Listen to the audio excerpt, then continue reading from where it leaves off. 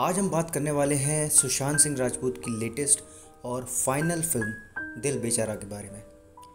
दोस्तों, ये फ़िल्म आज ही डिज्नी प्लस हॉटस्टार पर रिलीज़ हुई है, जिसे देखने के लिए आपको किसी भी तरह के सब्सक्रिप्शन की ज़रूरत नहीं है, क्योंकि इस फ़िल्म को सभी फैंस के लिए एकदम फ्री में रिलीज़ किया गया है, ताकि सुशांत सिंह राजपूत की इस फ़िल्म को सभी लोग देख सकें।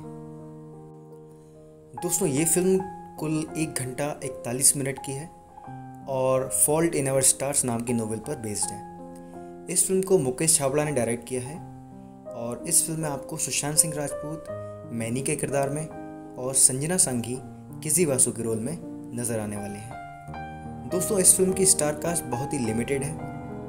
इसमें मैनी के बेस्ट फ्रेंड का रोल साहिल वैद ने और किसी वासु के पेरेंट्स का रोल शाश्वत चटर्जी और स्वास्तिक मुखर्जी ने इसके साथ साथ आपको सैफ अली खान भी एक सरप्राइजिंग कैमियो में नज़र आने वाले हैं।